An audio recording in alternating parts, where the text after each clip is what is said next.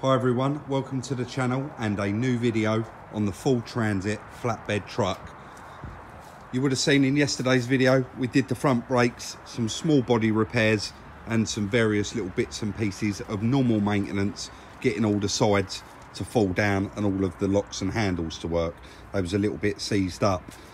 Today we are going to move on to the big clean. It's actually nowhere near as bad as the first van we done. This has not been a tarmackers van, so there's not tarmac everywhere, but as you can see, as usual, it is quite grubby and dirty, but nothing that we can't tackle, and we're hoping to get a lot of it done today. The floors, there's been a mat in here, but it does. We're going to start off, get it hoovered out, and then just crack on and try and get it cleaned up. There's a lot of dust in here, so I should imagine it all will come up quite nice, even with just a little wipe over. We've got the driver's seat here, same problem as we had in the Sprinter, but not a Sprinter, Volkswagen Crafter. I have seen on eBay there is a company selling brand new seat covers, any pattern, for the Transits, and they're about £30. So I'm going to get one of them ordered up today, and hopefully that comes in by tomorrow. So we won't bother cleaning up this base, which is the worst one, because we're going to get a new cover for it. Like I said, it's nowhere near as bad. The wheels do want a good clean, and the outside's going to want a good clean and a polish. But we're going to crack on first off and get these seats removed and then get in here and start cleaning it.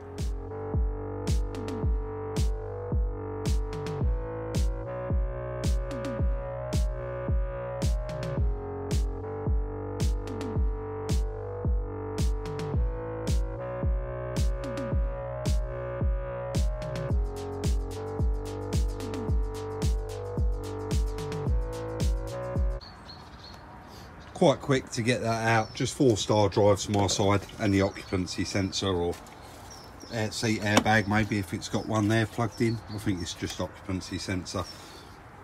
And that one comes straight out. It's a bit more difficult round chris's side.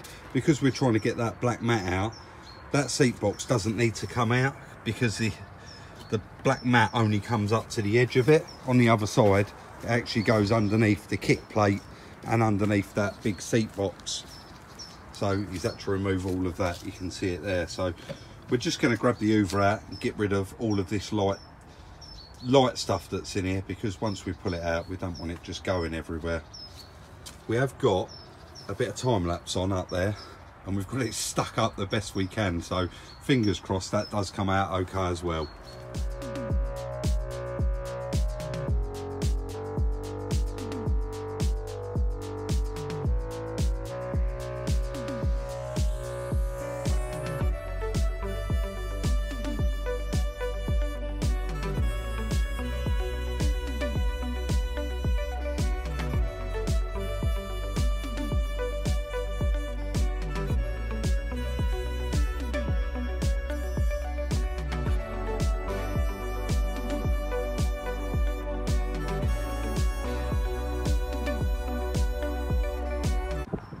So made quite light work of that. I stripped off both of the door panels. It made so much sense to take them off. We can whip the switches out of them and give them a clean. They're there now. And uh, I think that they're going to come up pretty nice. Like I said, they're nowhere near as bad as the others. Getting a bit sidetracked there. We've stripped out as much as we want to strip out of the cab area now. That's We don't want to take any more out of this cab at all. So we're actually going to start the process of cleaning up inside here and getting this pretty nice. We need to wipe all that headlining down, the roof lining because it's quite dirty. We've removed all the sun visors. We're going to be cleaning all this up. Just cracking on in general and getting the inside of this into a nice condition. And then as soon as that's done, while that's drying, we'll move on to the interior.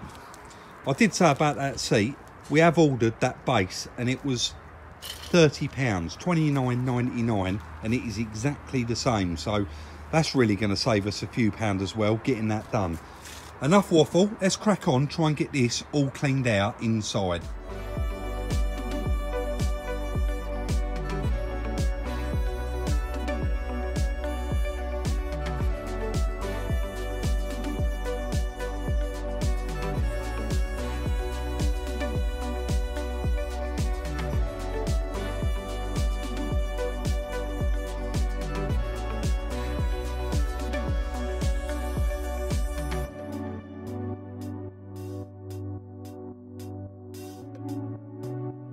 quite a long bit of time lapse there, but like I said at the start of the video, we really did want to get cracking, get as much done as we can, and hopefully try and complete this. So if you look now around the inside of that door, all in this rubber, up there in particular was terrible, and it was even worse on the other side. But they're now all clean, all the shuts are all clean. Even though those steps, you can't see what's underneath them, but as soon as we lifted them out, it's like, it, it's over an inch thick in the bottom there of dust. And eventually that is what causes it to rot out. It gets a bit wet and it just keeps rotting out. So they're all now clean. We've done all inside the dashboard. All the floors all done. It is a shame that's got a little wear hole in that there but it has all come up really really nice. I'm just going to walk around the other side. Sorry chris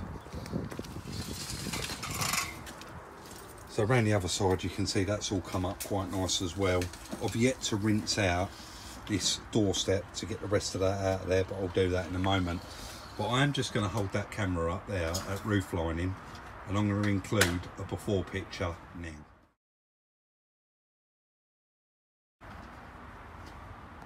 And just look at the difference. Quick wipe over with some G101 on a sponge and then we went over it after with a little bit of a brush and it come up lovely. Even though all this here you don't see it it was all covered in dust and grime so we just decided we're going to give that a really good clean as well and get that all up nice. So i'm just going to finish off the inside of that door and that step and then we're going to be moving on. We're done on the inside. We got to black it all up and put it back together but we are now moving on. Chris has laid everything out on the back of the bed of the truck and he's just sprayed them up letting it all soak in and just going through giving them all a clean now. We've got the a post covers sun visors cup holders. You can pretty much see the floor mat there and the steps as well. So as soon as they're done we can let them dry and start the process of getting all them back in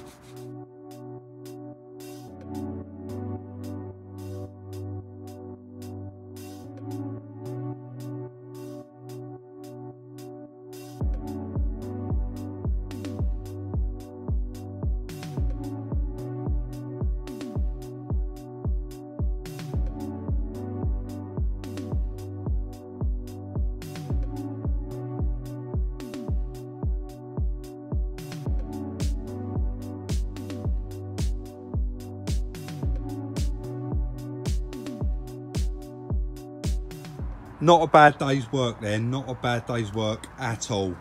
I think i was a bit optimistic this morning when i said let's try and get it all done. That was never going to happen but we did get a lot done. We've just cracked on got stuck in all day.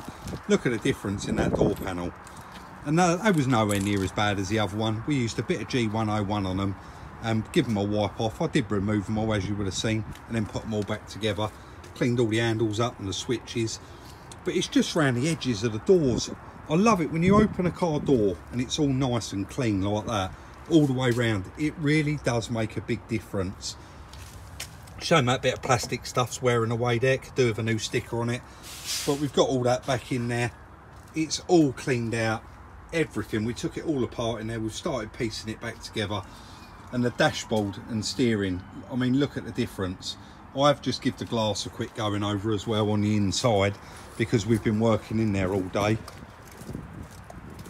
And we started using that Auto Smart glass cleaner, which is quite good as you can see. So I will link obviously everything in the description as usual.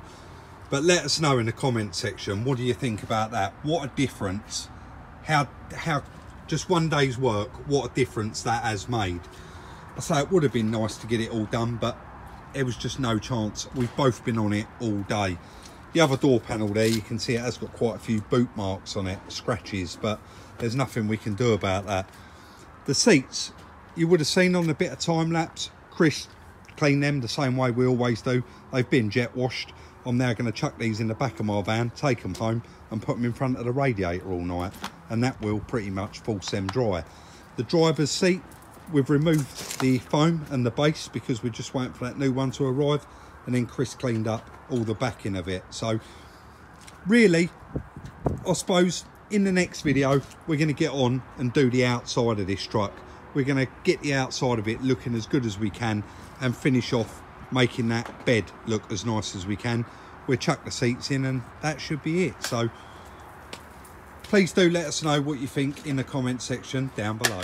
So I know it's not a nice long one and I know most of you do like them 15 20 minute videos but it's actually about half past three now and we're running out of light already. It's just starting to go dusk. You just get such little light hours.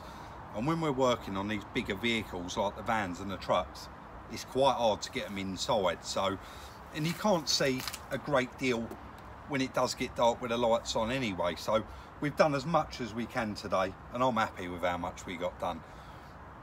That was very optimistic thinking that I'd completely forgot that we had to wash the seats as well. And it does all take time. As much as you think yeah I'll definitely be able to do it it's it never happens. So I'm not going to waffle on too much. I did I know there's quite a bit of time lapse as well but we did have to crack on and we did have to get it done. I did put it out in last night's video the price that we was going to be asking for it and already I've received three or four different phone numbers through Instagram of people that are very very interested in this truck because it is so reasonably priced. So we'd like to get it done and get it out the door. It's another one gone. So I'm getting carried away, guys, and I'm starting a life story. So we will end it there. If you haven't already, follow us on Instagram for those little sneak peeks throughout the day at Salvage Rebuilds. Check out the merchandise. The link is in the description. And please do drop us a comment. And if you enjoy it, give us a thumbs up. We really do appreciate it and it shows your appreciation. Like, subscribe and share and we'll see you later in the week for the next one.